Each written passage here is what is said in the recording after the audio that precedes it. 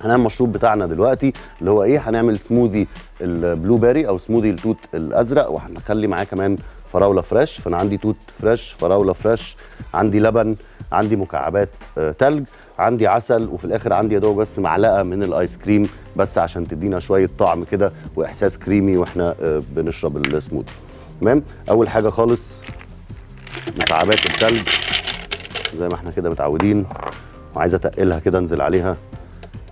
بالفاكهة. شوية صغيرين قوي من اللبن أهم. عشان يساعدني بس أبتدي أجرش التلج مع الفراولة.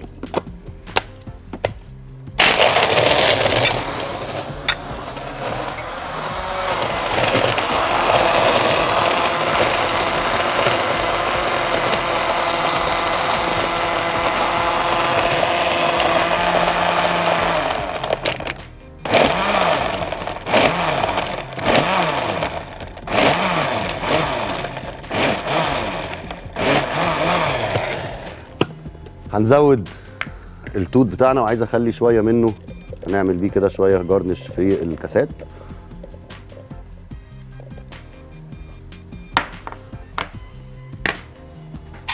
هنزل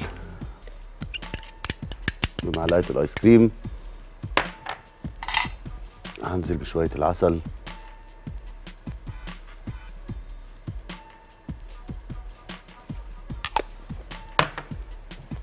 هديها هنا ضربة الأول وعايز أبص على ال- القوام بتاعها هل هحتاج أزود شوية لبن أخفها ولا كده تمام؟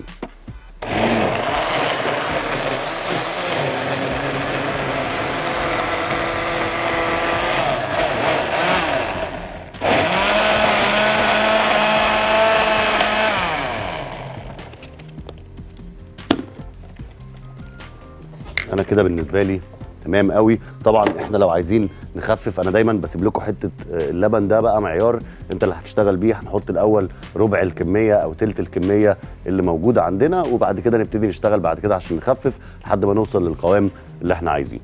طيب كاسات التقديم بتاعتنا. هاخد شوية من التوت أهو.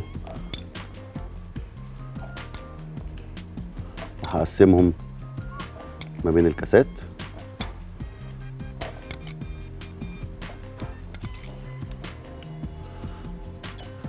ليه بقى؟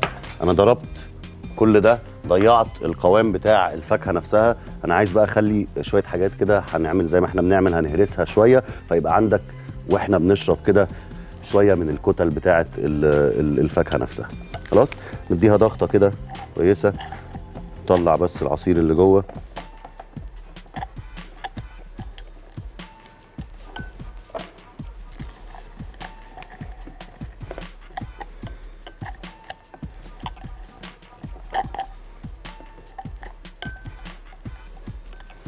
نديها دكة كده بسيطة قوي نتأكد بس إن إحنا عملنا بيز أهو. ومن هنا هننزل بالميكس بتاعنا على طول أهو. بشويش عشان ما يقلب لناش بس الشوية اللي عملناهم تحت دول. أهو. نفس الحكاية. أول ما أوصل لنص كوباية خلاص هو ممكن أعدل وأكمل عادي خالص. فاضل عندنا إيه؟ زي ما إحنا متعودين شاليموهاتنا الظريفة.